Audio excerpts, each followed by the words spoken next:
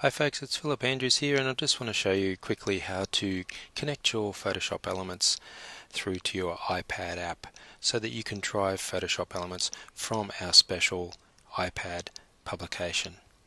So if we just go in Photoshop Elements now and just up to File and just across to Edit and down to Remote Connections you see that it automatically comes up with a service name. Make sure that you click on Enable Remote Connections and you type in a password.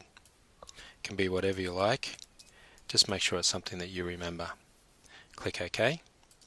You also need to make sure that your iPad and your computer are both on the same Wi-Fi network. So make sure that your iPad and your computer are both on the same Wi-Fi network. Then if we go over to our iPad and just locate our application and open up one of the issues that actually has the push to Photoshop elements uh, connection built in.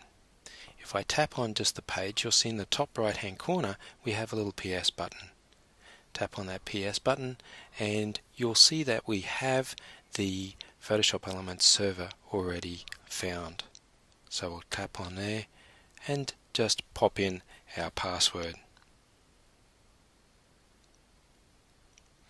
and then click connect. Once it's connected you'll see this little sign show up to say that it is successfully connected and then you can work your way through to one of the tutorials that has the built-in uh, push to Photoshop Elements functionality and here we have it. If you work your way through this tutorial you'll see that the first button that we have is this little green button here. Tap on that one and automatically the image is opened up in Photoshop. So that's coming from your iPad and it's opened up into Photoshop.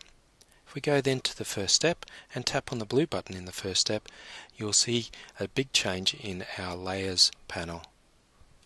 If we go to then step 2 and tap on step 2 you'll see another change in the layers panel.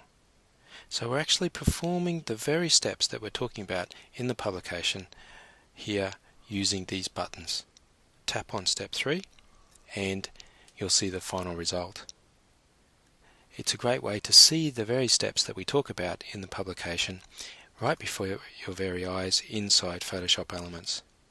So make sure you keep an eye out for those tutorials that have this special push to Photoshop functionality.